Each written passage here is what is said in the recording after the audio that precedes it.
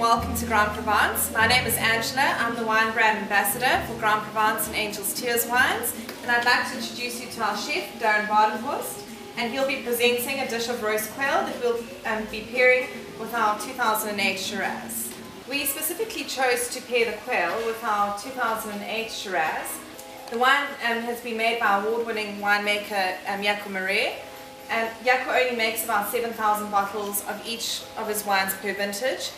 The, the wine lay for 15 months in a combination of second and third fill French oak barrels, which produces quite a nice sort of soft but then and rich tannin texture to the wine. Good afternoon, I'm the chef at Grande Provence. Uh, we are pairing a dish today with the 2008 Shiraz, which is a quail. The quail, the elements of the dish to complement the wine itself.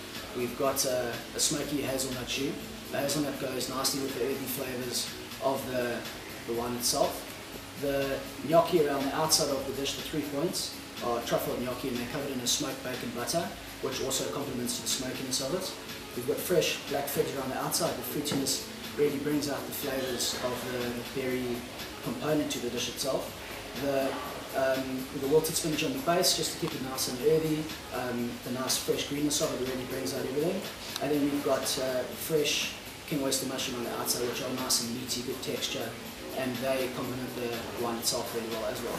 The quail has been taken off the bone, it's been deboned off the carcass itself, and then each of the four pieces of the quail, the breast, the breast, and the two wings are then griddle pan, painted lightly with butter, and then chopped, chopped uh, thyme put over them. They're just popped into the oven for two to three minutes maximum to keep the meat nice and tender and succulent.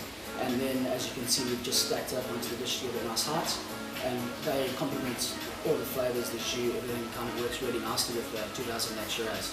Throughout the winter we'll be running a Chef's Table Winter special which will basically be a choice of courses that we'll choose from our current menu and that will only be a four course though and with those I'll be happy to come out and explain all the courses with the wines uh, just trying to give you sort of hand in hand our wine and our food which we like to do in the estate.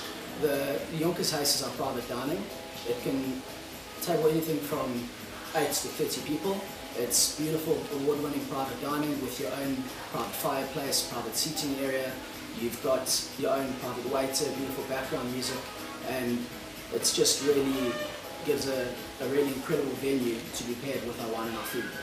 Grande Provence is situated in Franschhoek, just outside town, and we'd love for you to come and visit us. We've got numerous attractions here in the state, including a gallery featuring national and international artists, but we'd especially like to welcome you to come and dine with us and enjoy our award-winning wine.